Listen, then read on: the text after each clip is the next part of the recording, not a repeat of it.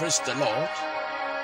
Uh, my name is Apostle Peter. I want to remind you of the coming of our Lord Jesus Christ.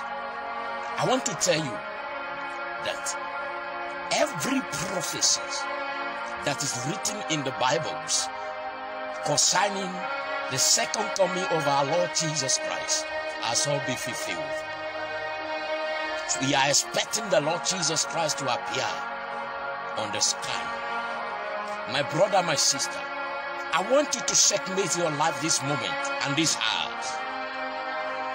Checkmate your life.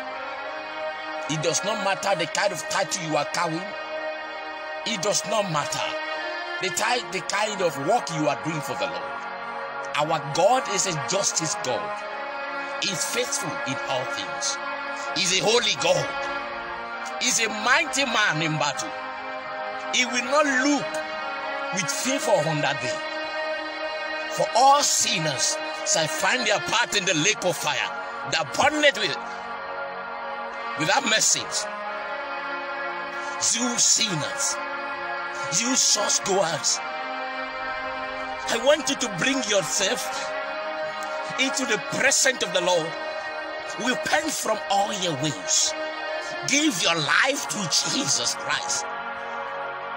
Without Him, you cannot make heaven. Your work will be waste, will be at waste if your life is not in accordance to the word of God. So I'm telling you this moment that this is the appropriate time for you to give your life to Jesus. He loves you, care for you. But when he comes, he's coming with the anger. He's coming with a wrath, whereby he will not recognize anyone before. You might be praying that God answer your prayer.